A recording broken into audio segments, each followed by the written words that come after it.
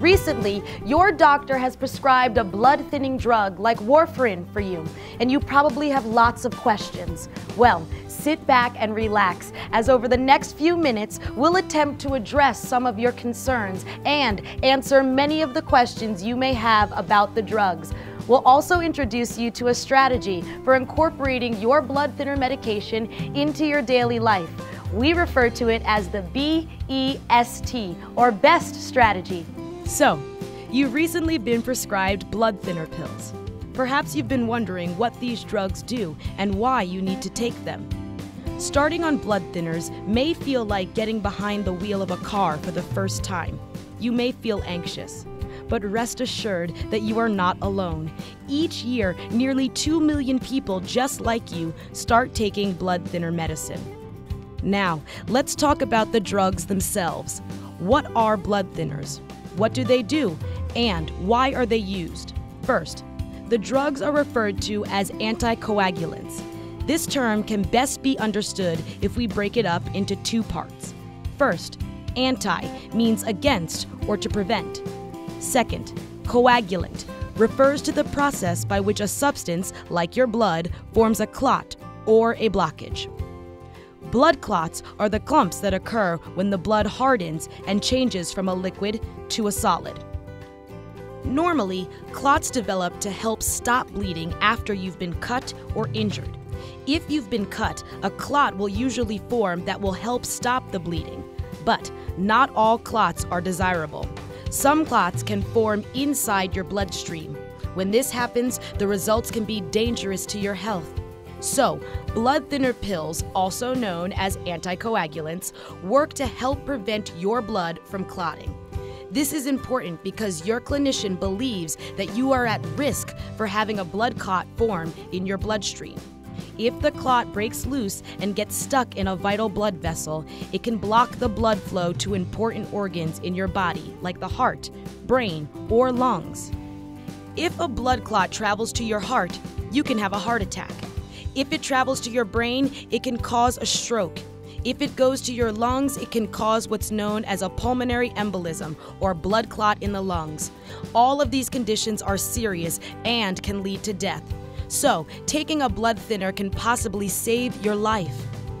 There are several reasons why your clinician may have put you on a blood thinner. Some of the most common reasons are an abnormal heart rhythm called atrial fibrillation, heart attack, stroke, deep vein thrombosis or DVT, pulmonary embolism or PE, or because you've had recent surgery.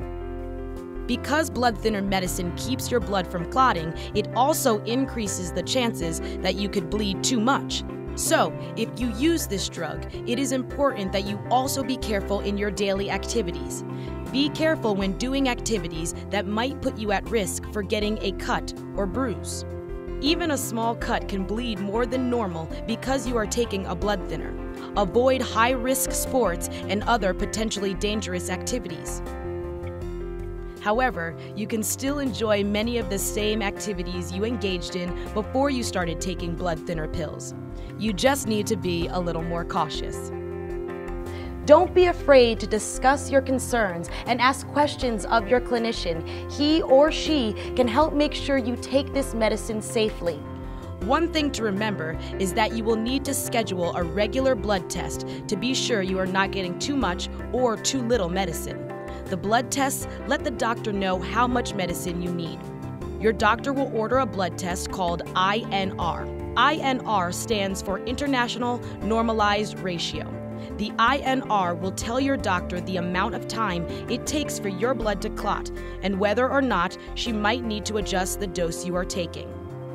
If your INR is too high or too low, your doctor may change the amount of medicine that you take until your INR is within a range that's right for you.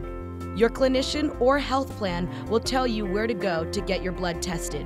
It is very important to have your blood checked as often as your clinician tells you to. It is the only way he or she can tell how much medicine you need. Like most medicines, blood thinner pills can have side effects. Some of these may include bruising easily or having your gums bleed from brushing your teeth. If you find any unusual bleeding, let your clinician know right away. You should try to be careful in your daily activities and avoid injury as much as possible. If by chance you do injure yourself, whether it be from a fall or hard bump to the head, call your clinician right away. You may have a busy life, but that shouldn't stop you from following a regular schedule to take your medication. Even at work, there are ways to remember to take your medicine. You might want to carry a pill container with you and wear a digital watch with an alarm. There are many things you can do to remind yourself to take a pill at the same time each and every day. You can also get family and friends to help remind you until it becomes a habit for you. Either way, it is important to remember to take your medication exactly as your doctor prescribed. For your own safety, you should also consider wearing a medical alert bracelet or carrying a wallet card as a way to let others know that you are on blood thinner medication, in case you can't. It is also important not to make major changes in your diet or start a weight loss plan without first consulting your clinician. The foods and drinks that you consume can affect how well your blood thinner pills work. For instance, your clinician might want you to be careful about the things you eat or drink that are high in vitamin K because it can interfere with the way some blood thinners work. Vitamin K is found in many green, leafy vegetables, but also in other kinds of foods and in vitamins and herbal nutritional supplements. The most important thing is to remember to keep your diet consistent. Try to eat the same kinds of foods and the same amounts of those foods on a regular basis.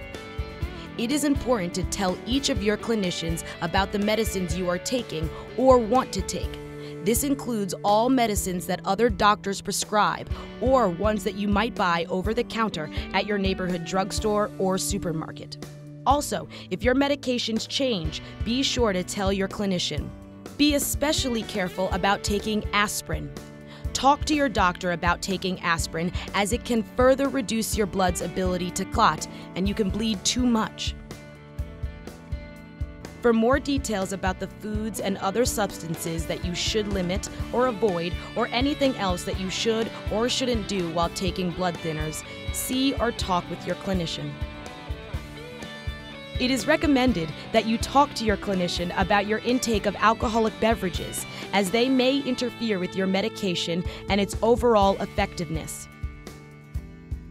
Just because you are taking a blood thinner doesn't mean that you have to drastically alter your daily life or stop doing the things that you really enjoy. Just a few changes in your daily schedule and routine are all that's really needed. Again, it's important to communicate with your clinician. If you have recently been prescribed a blood thinner, there are some main points you should try to take away from watching this video. We will now outline these points. Take a moment if you'd like to grab a pen and paper to write them down. There are four main points to remember as you undergo blood thinner drug therapy. These are be careful, eat right, stick to a routine, and test regularly. Be careful in your daily activities. If you are doing something that may put you at risk for having an accident in which you could bleed or get a bruise, take care to try and prevent this from happening. Eat right and do not eat or drink anything that your clinician has told you not to. You may have to limit certain foods and substances that contain vitamin K. If you have questions about what foods to eat, ask your clinician. Stick to a routine by taking your medication at the same time every day. Test regularly means to have your INR tested as often as your doctor requires. This way, he or she can adjust your dose of medication as needed. By following these guidelines, you will be following the best strategy for taking a blood thinner safely. So remember, be careful, eat right, stick to a routine, and test regularly, meaning as often as your clinician tells you to. We hope this video helps shed some light on what a blood thinning drug is, what it does, and how it can help you. We've explained why your doctor may have prescribed it, and we've shared a number of things to keep in mind. Remember that clinicians are there to answer any questions you might have about taking your blood thinner pills. And keep in mind, there are four simple points of being careful, eating right, sticking to a routine, and testing regularly. By doing these things, you are sure to have success in integrating your blood thinner therapy into your daily life. Thanks for watching.